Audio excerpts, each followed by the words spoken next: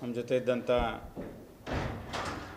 ಜಿಲ್ಲಾಧ್ಯಕ್ಷರಂಥ O B C ಮೋರ್ಚಾದಲ್ಲಿ ಅಶೋಕ್ ಹೆಬ್ಬಳ್ಳಿ ಅವರೇ, ನಮ್ಮ ಪಕ್ಷದ ಹಿರಿಯರಾದಂಥ ಶ್ರೀಪತಿ ಉಡುಪಿ ಅವರೇ, ಹಾಗೂ ಉಪಾಧ್ಯಕ್ಷರಂಥ ಶ್ರೀಯುತ ಬಾಕ್ಳೆ ಅವರೇ, ಸುರೇಶ್ ಮಳಪ್ನವರವರೇ ಹಾಗೂ ನಮ್ಮ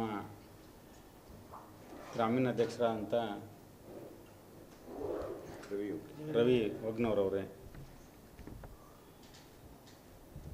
ತಮಗೆಲ್ಲ ಗೊತ್ತಿದ್ದ ಹಾಗೆ ನರೇಂದ್ರ ಮೋದಿಯವರು ಒಬ್ಬ ಇಡೀ ಭಾರತದ ಸಂಸ್ಕೃತಿ ಪರಂಪರೆ,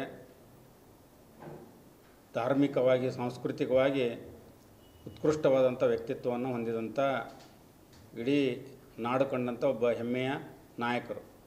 ಅವರು ಕೇವಲ ಭಾರತಕ್ಕಲ್ಲ, ಇಡೀ ಜಗತ್ತಿನಲ್ಲಿ ಅವ್ರನ್ನ ಇವತ್ತು ಮಹಾನ್ ನಾಯಕ ಅಂಥೇಳಿ ಕೊಂಡಾಡ್ತಾ ಇದ್ದಾರೆ. ಅವರ ನಡೆ ನುಡಿ, ಆಚಾರ ವಿಚಾರ ಎಲ್ಲದ್ರ ಬಗ್ಗೆನೂ ಇಡೀ ದೇಶ ಮಂತ್ರಮುಗ್ಧದಿಂದ ಅವ್ರಿಗೆ ಗೌರವ ಕೊಡ್ತಾ ಇದೆ.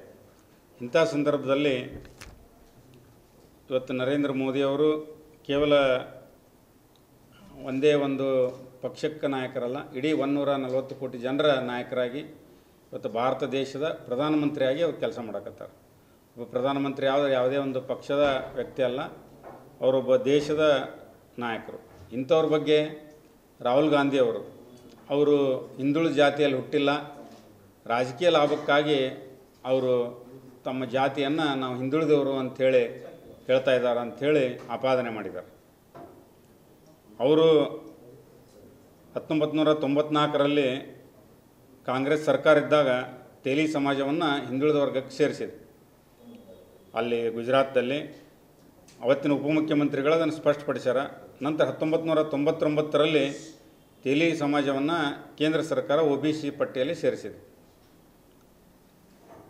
ತೆಲಿ ಸಮಾಜ ಅಂದರೆ ನಮ್ಮ ಕರ್ನಾಟಕ ರಾಜ್ಯದಲ್ಲಿ ಅತ್ಯಂತ ಹಿಂದುಳಿದಂಥ ಗಾನಿಗ ಸಮಾಜ. ಆದ್ರೆ ರಾಹುಲ್ ಗಾಂಧಿಯವರು ಏನು ಹೇಳ್ತಾ ಇದ್ದಾರೆ ಅಂದ್ರೆ, ತೆಲಿ ಸಮಾಜವನ್ನು ಮೋದಿಯವರೇ ಹಿಂದುಳಿದ ಜಾತಿ ಅಲ್ಲಂದರೂ ಸಹಿತ ಅವರು ತಮ್ಮ ಅಧಿಕಾರ ಇದ್ದಾಗ ಸೇರಿಸಿಕೊಂಡು ಅವರು ಮೇಲ್ಜಾತಿಯವರು, ಆದರೂ ಹಿಂದುಳಿದ ಜಾತಿಯವರು ಅಂಥೇಳಿ ಸುಳ್ಳು ಹೇಳ್ತಾ ಇದ್ದಾರೆ ಅಂಥೇಳಿ ಆರೋಪ ಮಾಡಿದ್ದಾರೆ. ಇವತ್ತು ನರೇಂದ್ರ ಮೋದಿ ಅವ್ರಿಗೆ ಅಂಥ ದುರುದ್ದೇನು ಬಂದಿಲ್ಲ. ಅವರು ಜಾತಿ ಹಿಡಿದು ರಾಜಕಾರಣ ಮಾಡಿಲ್ಲ. ಅವರು ಅತ್ಯಂತ ನಮ್ಮ ಭಾರತ ದೇಶದ ಒಂದು ಉತ್ಕೃಷ್ಟ ಸಂಸ್ಥೆಯಾದ ರಾಷ್ಟ್ರೀಯ ಸ್ವಯಂ ಸೇವಕ ಸಂಘದ ವ್ಯಕ್ತಿಯಾಗಿ ಅಲ್ಲಿ ಸಣ್ಣ ಪುಟ್ಟ ಕೆಲಸಗಳಿಂದ ಗುರುತಿಸಿಕೊಂಡು ನಾವು ಗುಜರಾತ್ ಮುಖ್ಯಮಂತ್ರಿಯಾಗಿ, ನಂತರ ಈಗ ಪ್ರಧಾನಮಂತ್ರಿಯಾಗಿ ಕಾರ್ಯ ಮಾಡ್ತಾಯಿದ್ದಾರೆ ಯಾವಾಗಲೂ ಸಹಿತ ಅವರು ಜಾತಿ ವಿಷಯಗಳನ್ನು ಎತ್ತಿಲ್ಲ. ಅವತ್ತು ಅವರ ಹಲವಾರು ಸಂದರ್ಭಗಳಲ್ಲಿ ಮನುಷ್ಯನ ಜಾತಿಯಿಂದ ನೋಡ್ಬೋದು, ವ್ಯಕ್ತಿತ್ವದಿಂದ ನೋಡ್ಬೇಕಂಥೇಳಿ ಅವರ ಹಲವಾರು ಸಂದರ್ಭಗಳೇ ಅವರ ಮಾತುಗಳಲ್ಲಿ ತಾವು ಕೇಳಿರ್ಬೋದು. ಅದು ಅಂಥ ವ್ಯಕ್ತಿಗೆ ಅವರು ಜಾತಿ ಹಿಡಿದು ಮಾತಾಡಿದ್ದು ಭಾಳ ದುರ್ದೈವದ ಸಂಗತಿ. ಮೋದಿಜಿಯವರು ಯಾವಾಗಲೂ ಸಹಿತ ಸಬ್ ಕಸಾತ್, ಸಬ್ ಕ ವಿಕಾಸ್ ಅಡಿಯಲ್ಲಿ ಎಲ್ಲ ವರ್ಗದವ್ರನ್ನ ಓಡಿಸಿಕೊಂಡು ಅವರು ಓಲೈಸಿಕೊಂಡು ಕೆಲಸ ಮಾಡ್ತಾಯಿದ್ದಾರೆ ಅವ್ರ ಕಾಲದಲ್ಲಿ ಹಿಂದುಳಿದ ವರ್ಗಕ್ಕೆ ಭಾರತ ಸರ್ಕಾರದಲ್ಲಿ ಒಂದು ಸಾಂವಿಧಾನಿಕ ಸ್ಥಾನಮಾನವನ್ನು ಕೊಟ್ಟು ಶಾಶ್ವತ ಹಿಂದುಳಿದ ಆಯೋಗವನ್ನು ರಚನೆ ಮಾಡಿಕೊಟ್ರು. ಇವತ್ತು ಕಾಂಗ್ರೆಸ್ ಪಕ್ಷದವರಿಗೆ ಭ್ರಮ ನಿರಸನ ಆಗೈತೆ. ರಾಜ್ಯದಲ್ಲಿ ಅವರಿಗೆ ಎಲ್ಲ ಕಡೆ ಅನೇಕ ರಾಜ್ಯಗಳಲ್ಲಿ ಒಂದೊಂದು ಸೀಟ್ ನಿಲ್ಸಕ್ಕೆ ಅವ್ರಿಗೆ ಅವಕ ಅವ ಅವಕಾಶಗಳಿಲ್ಲ. ಅವ್ರ ಕ್ಯಾಂಡಿಡೇಟ್ ಸಿಗ್ತಾ ಇಲ್ಲ. ಇವತ್ತಿಂಥ ಸಂದರ್ಭದಲ್ಲಿ ಅವರು ಮೋದಿಯವ್ರನ್ನೇನಾದರೂ ಜಾತಿ ಹತ್ತು ಮಾತಾಡಿದ್ರೆ ನಮ್ಗೆ ಲಾಭ ಆಗ್ಬೋದು ಅಂಥೇಳಿ ಸಂಕುಚಿತ ಮಾವಣೆ ದುರುದ್ದೇಶ ಇಟ್ಕೊಂಡು ರಾಹುಲ್ ಗಾಂಧಿಯವರು ಇವತ್ತು ಭ್ರಮನಿರಸನಗೊಂಡು ನಿರಸನಗೊಂಡು ಮೋದಿಯವ್ರ ಬಗ್ಗೆ ಅಪಪ್ರಚಾರ ಮಾಡ್ತಾಯಿದ್ದಾರೆ ಆದ್ದರಿಂದ ಮೋದಿಯವರ ಬಗ್ಗೆ ಮಾತಾಡಿದ್ದಕ್ಕೆ ರಾಹುಲ್ ಗಾಂಧಿಯವರು ಅವರು ಕ್ಷಮೆಯನ್ನು ಭಾರತ ದೇಶದ ಎಲ್ಲ ಒನ್ನೂರ ನಲವತ್ತು ಕೋಟಿ ಜನರ ಕ್ಷಮೆಯನ್ನು ಕೋರಬೇಕು. ಇದೇ ರೀತಿ ಅವರು ಈ ರೀತಿ ಒಬ್ಬ ದೇಶ ಕಂಡಂಥ ಅಪ್ರತಿಮ ವ್ಯಕ್ತಿಗೆ ಪ್ರಧಾನಮಂತ್ರಿಗೆ ಇದೇ ರೀತಿ ಮಾತಾಡ್ತಾ ಹೋದರೆ ನಾವೆಲ್ಲ ಇಡೀ ನಮ್ಮ ಹಿಂದುಳಿದ ಮೋರ್ಚಾ ಆಗಿರ್ಬೋದು ಮತ್ತು ನಮ್ಮ ಪಕ್ಷದ ಎಲ್ಲರೂ ಸೇರಿ ಉಗ್ರವಾದ ಪ್ರತಿಭಟನೆ ಮುಂದಿನ ದಿನ ಮಾಡಬೇಕಾಗತ್ತೆ. ಆದ್ದರಿಂದ ರಾಹುಲ್ ಗಾಂಧಿಯವರು ನಮ್ಮ ನಾಡಿನ ಜನರ ಕ್ಷಮೆಯನ್ನು ಕೋರಬೇಕು ಅಂಥೇಳಿ ತಮ್ಮ ಮೂಲಕ ಅವ್ರಿಗೆ ಒತ್ತಾಯ ಮಾಡ್ತಾಯಿದ್ದೀವಿ ಮತ್ತು ಇದೇ ರೀತಿ ಅವರು ಮುಂದುವರೆದ್ರೆ, ಮುಂದುವರಿಸಿದ್ರೆ ನಾವು ಉಗ್ರವಾದ ಹೋರಾಟವನ್ನು ಮಾಡಬೇಕಾಗುತ್ತೆ. ಕಾಂಗ್ರೆಸ್ನವ್ರಿಗೆ ರಾಜ್ಯದಾಗ, ರಾಷ್ಟ್ರದೊಳಗೆ ಇದು ಸಿಗ, ಇಲ್ಲ ಆಗೈತಿ. ಅವಕಾಶ ಸಿಗಾಕತ್ತಿಲ್ಲ, ಇಂಥ ಇಲ್ಲ ಸಲ್ಲದ ಆರೋಪ ಮಾಡಕತ್ತಾರ. ರಾಹುಲ್ ಗಾಂಧಿ ಅವ್ರ ಸ್ಟೇಟ್ಮೆಂಟ್ ನೋಡ್ತೀವಿ, ಅವ್ರು ಯಾವುದೇ ಪ್ರಬುದ್ಧ ಸ್ಟೇಟ್ಮೆಂಟ್ಗಳನ್ನು ಯಾವಾಗೂ ಸಹಿತ ಕೊಟ್ಟಿಲ್ಲ. ಕ್ಷುಲ್ಲಕ ವಿಚಾರಗಳನ್ನ ಎತ್ತಿ ಮಾತಾಡೋದು ಅವರು ವಾಚಾಳೆ ಆಗೈತಿ ಅಪ್ರಬುದ್ಧ ಇಳಿಕೆಗಳನ್ನು ಕೊಟ್ಟು ತಮ್ಮ ಯೋಗ್ಯತೆಯನ್ನು ತಾವೇ ಹಾಳು ಮಾಡಿಕೊಳ್ಳುವಂಥ ವ್ಯವಸ್ಥೆ ಅವ್ರದ್ದಾಗಿದೆ.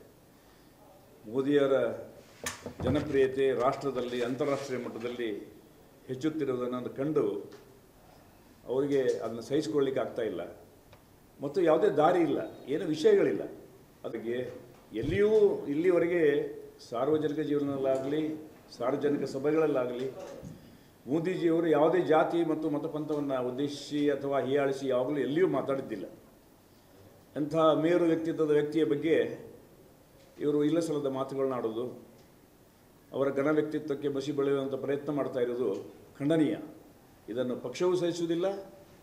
ಹಾಗೂ ಸಾರ್ವಜನಿಕ ನಮ್ಮ ಒಂದು ನೂರ ಕೋಟಿ ಜನರ ಪ್ರತಿನಿಧಿಯಾಗಿ ನಮ್ಮ ದೇಶವನ್ನು ಅಭಿವೃದ್ಧಿ ಪದದಲ್ಲಿ ಮುನ್ನಡೆಸುತ್ತಾ ಇರುವಂಥ ಮೋದಿಜಿಯವರ ಬಗ್ಗೆ ಮಾತನಾಡೋದನ್ನು ನಾವೆಲ್ಲರೂ ಪಕ್ಷದ ವತಿಯಿಂದಾಗಲಿ, ನಮ್ಮ ಒ ಬಿ ಸಿ ಮೋರ್ಚಾ ವತಿಯಿಂದಾಗಲಿ ಬಲವಾಗಿ ಖಂಡಿಸ್ತೀವಿ ಅಂತ ಒಂದು ಹಿಂದುಳಿದ ಜಾತಿಗೆ ಸೇರಿಸ್ಬೇಕಾದ್ರೆ ಅಥವಾ ಯಾವುದೇ ಒಂದು ವರ್ಗಕ್ಕೆ ಎಸ್ ಸಿ ಆಗಲಿ ಎಸ್ ಟಿ ಸೇರಿಸ್ಬೇಕಂದ್ರೆ ಅದು ಕುಲಶಾಸ್ತ್ರ ಅಧ್ಯಯನ ಅಂತ ಮಾಡ್ತಾರೆ ರಾಷ್ಟ್ರ ಮಟ್ಟದಲ್ಲಿ, ರಾಜ್ಯ ಮಟ್ಟದಲ್ಲಿ.